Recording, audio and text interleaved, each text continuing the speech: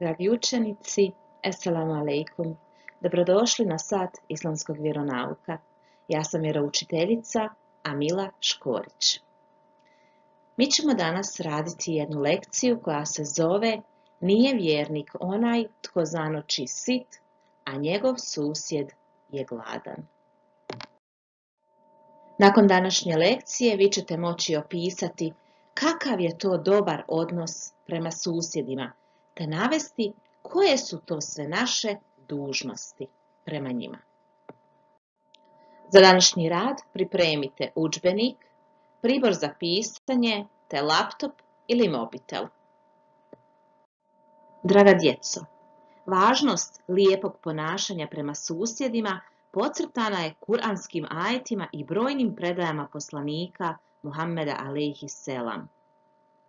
Dobročinstvo prema susjedima navedeno je u istoj rečenici zajedno sa vjerovanjem i ibadetom gospodaru svjetova Allahu Đelešanuhu.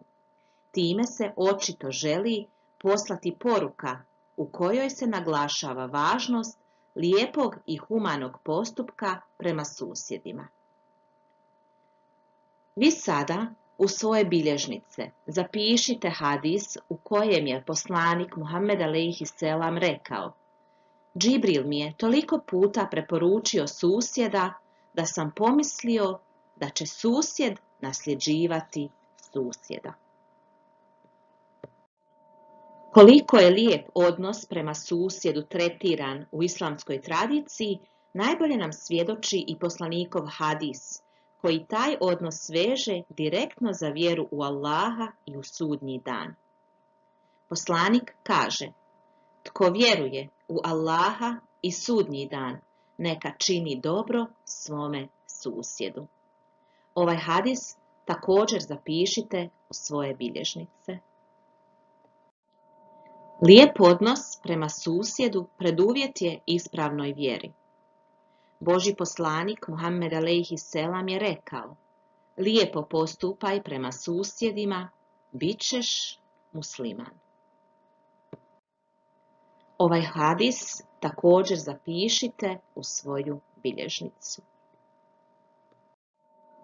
U kuranskom ajetu Allah Đelešanuhu kaže A roditeljima dobročinstvo činite, i rođacima, i siročadi, i siromasima, i susjedima bližnjim, i susjedima daljnjim, i prijateljima, i putnicima namjernicima, i onima koji su u vašem posjedu. Ovim ajetom se želi odaslati poruka u kojoj se naglašava važnost lijepog i humanog postupka prema susjedima. A sada se naslonite i poslušajte priču. Jedan gluhi čovjek dobrog srca sazna da mu je susjed bolestan pa pomisli.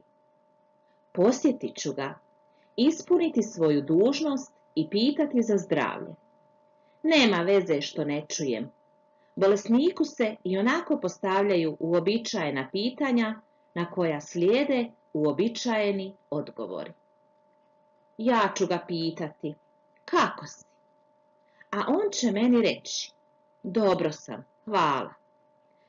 Ako ga pitam, što jedeš, sigurno će mi reći ime nekog jela, a ja ću tada reći, dobar tek.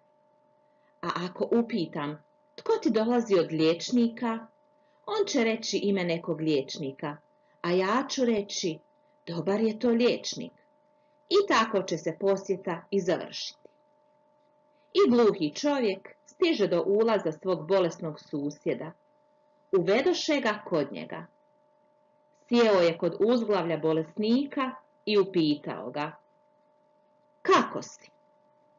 Bolesnik jecajući odgovori. Jako sam loše. A gluhi susjed reče. Ohoho, veoma se radujem. Bolesnik se naljuti. Ma šta je ovo? Govori da mu je drago što se netko osjeća jako loše. A gluhi čovjek nastavio je pitati što je ranije isplanirao. Što jedeš? A bolesnik ljutito viknu, ma ništa, ne mogu ništa. Pomislivši da reče ime nekog jela, gluhi čovjek reče, o, dobar tek. Jadni se bolesnik potpuno izgubi od bijesa, a nažalost, a gluhi čovjek nastavi. Koji ti liječnik dolazi radi terapije? U potpunosti, izgubivši strpljenje, bolesnik viknu. Hajde, gubi se, Meleka Zrail! A gluhi opet nije razumio, slatko se smiješeći reče. On je veoma dobar i učen liječnik. Ako Bog da, uskoro će ti pronaći lijeka. Bolesnik je bio u šoku, dok se gluhi čovjek pozdravljao na rastanku, sretan što je ispunio susjedsku obavezu. Da li vam se svidjela ova priča? Što mislite, kakav je gluhi čovjek u ovoj priči? Gluhi čovjek je zaista imao dobre namjere, ali ipak je ostao neshvaćen. Šta mislite zašto?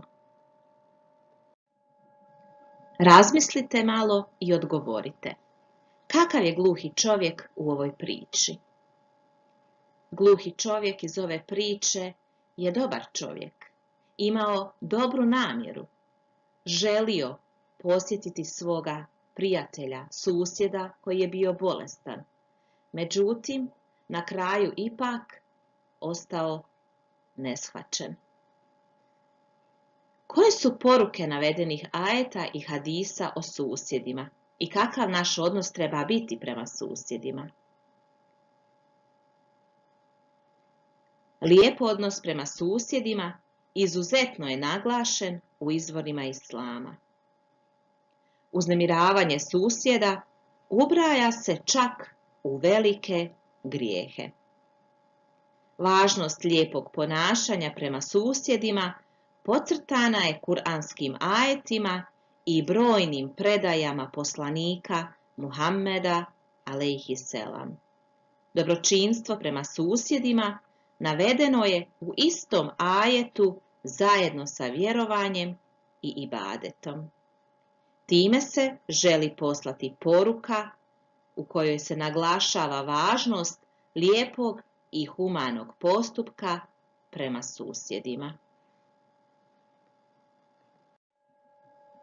Draga djeco, a sada u svoje bilježnice zapišite dužnosti prema susjedima. Kad ih sretnemo, pozdraviti ih. Kad zatraže pomoć, pomoći im. Ako su bolesni, posjetiti ih. Ako nas pozovu, odazvati im se. Ako su stariji, pomagati im. Te poštovati njihove blagdane. Koliko je susjed prisutan u našem životu, pored ostalog, najbolje potvrđuje vjerovjesnikova predaja, u kojoj se naglašava da istinski vjernik ne može biti onaj ko legne sit, a njegov susjed osjeća glad. Ovu vanrednu brigu o čovjeku može iznjedriti jedino islam. Nije vjernik onaj tko zanoči sit, a njegov susjed je gladan. Djeco, Pokušajte napisati priču o ovoj temi. Draga djeco, došli smo do kraja današnje lekcije. Nadam se da vam je bilo interesantno i zanimljivo. Isto tako se nadam da ćete sada malo više pozornosti obratiti prema svojim susjedima. Sutra, kada vidite svoje susjede, da ćete ih lijepo pozdraviti i poselamiti. Upitati ih kako su. Djeca, vama je ostalo još da procijenite svoje znanje. Da li ste razumjeli današnju lekciju i da li možemo krenuti dalje. Razumijete, ali ćete još možda trebati koji put pročitati. Ili uopće niste razumjeli, pa ćete morati poraditi malo više na današnjoj lekciji. Draga djeco, do našeg sljedećeg susreta. Esselamu alaikum.